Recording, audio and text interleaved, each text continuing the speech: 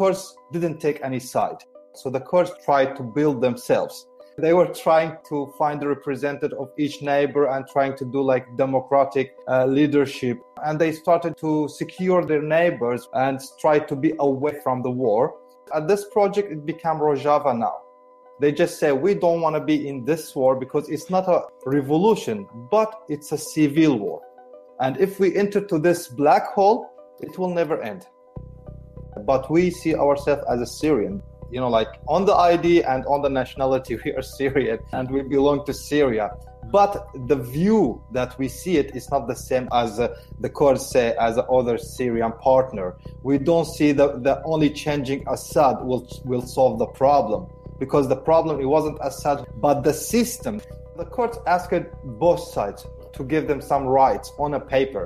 Both of them they were saying after the revolution, after we done with the other part. And this is the Kurds had really big experience with this. Like after Saddam Hussein, when Saddam Hussein he said the same thing to the Kurds. After Khomeini, the revolution in Iran, he said the same word.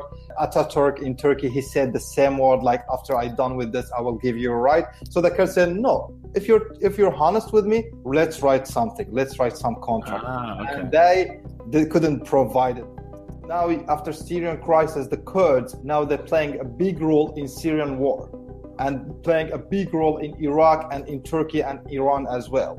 Regime doesn't have any control over Rojava since 2013. The regime withdraw its forces to support the big cities like Aleppo, Damascus. So the Kurds organized themselves. If you ask any Kurd, any Kurd all over the world, he will say, "I want a Kurdistan." You know, like we got this dream with the milk of, of our mother. But if you face the, the reality, most of the Kurds, they try to say, we want to live with the country that we are, but to have our own rights. But most of the countries, they don't accept any, any rights because they say one nation, one language, one flag.